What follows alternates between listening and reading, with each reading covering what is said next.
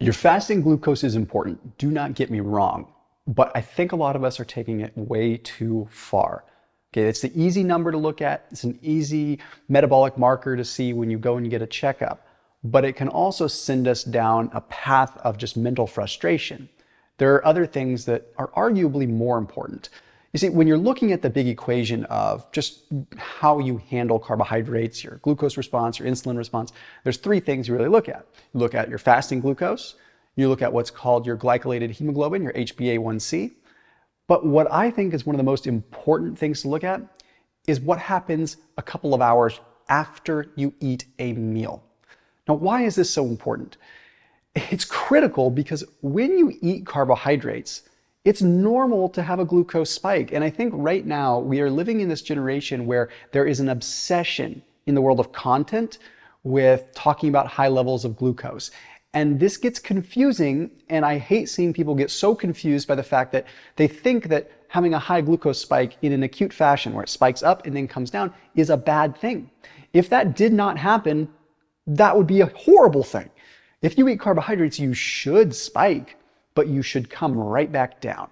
Okay, remember, you consume carbs, pancreas secretes insulin, the insulin allows the carbs to leave the bloodstream and go into the cell, consequently, glucose comes down. So, where you have to look at things is okay, my fasting glucose might be somewhat elevated, but this can be determined by a lot of things, which we'll go into in a second. But what happens two hours after you eat a bowl of rice? Did your glucose spike and did it stay spiked? Because that is a better indicator of what's going on. And even with your HbA1c, that is a lagging indicator. But what if you're starting to develop some insulin resistance? Or what if you have temporary insulin resistance that is triggered by poor sleep or by extreme stress? Because that can absolutely happen. Okay, that might not be reflected with your HbA1c because it hasn't been chronically elevated for a long period of time. What we have to understand here is that there is a difference between glucose toxicity and having chronically high levels of glucose for a long period of time and what is going to be insulin resistance at a specific point in time. And what I mean by that is that you could have a level of insulin resistance that is not yet reflected by your HbA1c. Does this mean don't do your HbA1c test or don't do a fasting glucose? Absolutely, positively not. Please do them. They're important, they're vital. But I think the one that people don't look at enough is that two hour post prandial. So we'll come back to this in a second. Let's talk about insulin resistance and the difference between physiological insulin resistance and pathological insulin resistance and some things that you can do to kind of help this process out. Physiological or peripheral insulin resistance happens when sometimes you exercise a lot. It happens when you don't eat a lot of carbohydrates or when you're in a very low carb state. And the reason behind this is because the cells within your periphery, like your muscles and things like that, they're so efficient at using glucose that they actually don't really need a high amount of insulin, right? So you become somewhat insulin resistant because your body is so good at utilizing fats. You see this in fasting individuals a lot, people that fast a lot or people that do super low carb. They say, wait a minute, I'm insulin resistant. My glucose is staying relatively high. That's not the end of the world because that's physiological insulin resistance. And what's happening is the body is using so much in the way of fat that it is literally sparing glucose, and that glucose can then go travel to the brain and it does other things. It does not necessarily mean that you're going to be glycating proteins and fall victim to all these other sorts of uh, glucose toxicity issues. Now, if you have this higher level of insulin resistance that is occurring even when you do eat carbohydrates and your glucose levels stay high all the time, I want to be able to teach you some things that you can do to kind of help this. One of the things that I think is very, very critical is consuming enough protein. And I think that this is overlooked because right now we have such a movement towards uh, you know, eating more plants and vegetables and things like that, which granted, I think is very important. I'm a big proponent of fruits and veggies. I really am. But I think that protein needs to be the priority. Okay, because when protein is the priority, not only are you satiated, but you also have a glycemic impact. Okay, so when you consume protein, what's going to happen is it's going to slow down the absorption of the carbohydrates. So you're not going to send your glucose levels through the roof. And if you deal with insulin resistance, if you send those glucose levels through the roof, they're going to stay elevated. So when someone becomes insulin resistant, then the glycemic spike matters because then, and really only then, is a situation in which a high spike becomes a problem. Because in an insulin resistant individual, a high spike remains a high spike for a long time. And the risk of glucose toxicity is significantly more.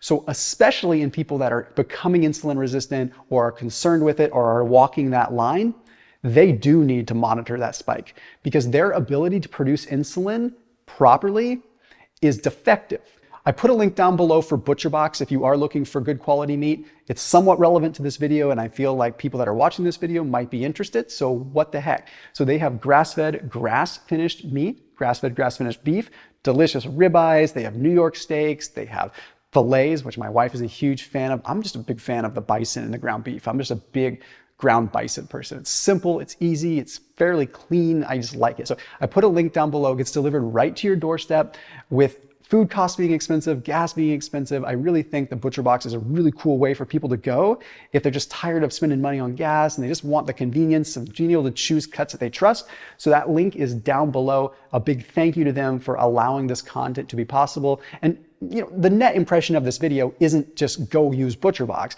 I'm saying it as a thoughtful suggestion because it makes sense and because I know people watch this video are probably interested in it. So the link below will take you to ButcherBox and you can choose some custom boxes as well. It's pretty cool stuff. Okay, so now that we've learned that protein is important, what are the other things we need to know? Well, once you're insulin resistant, uh, things change. Okay, insulin is not being secreted at the same rate.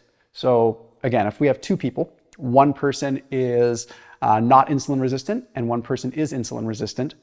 If the not insulin resistant person goes and eats a bunch of carbs, their carbs spike their glucose, they come back down. If the other person eats carbs, they spike and they don't come back down because they don't produce insulin. I know I sound like a broken record, but I really want to get this across, right? Well, what can you do about that?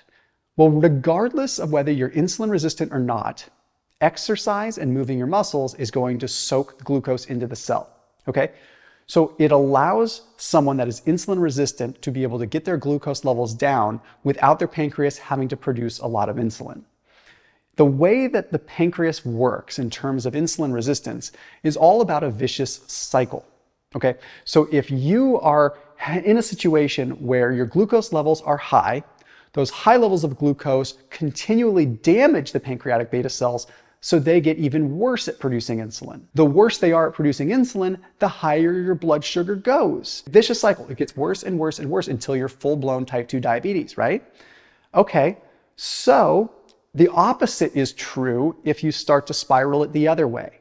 If you start to A, reduce carbohydrate intake, and pay attention to the glycemic index of foods that you're eating, because that's when it does become important, but you also find ways to reduce your glucose without insulin, you can slowly turn that dial down and allow the pancreatic beta cells to restore again. One of the best ways you do this, and it's no, it's not fun, but is walking and moving after eating carbs because that movement lets glucose into the cell without insulin so you can unwind the spiral and let the pancreatic beta cells recover a little bit and maybe even repair and hopefully get yourself back on track from insulin resistance before you're into a much harder to reverse type 2 diabetes type situation. And I know I've come around in kind of a full circle, but the big important piece here is what is happening two hours after you eat a meal? That is going to be painting the biggest picture into your metabolic health as far as glycemic response goes.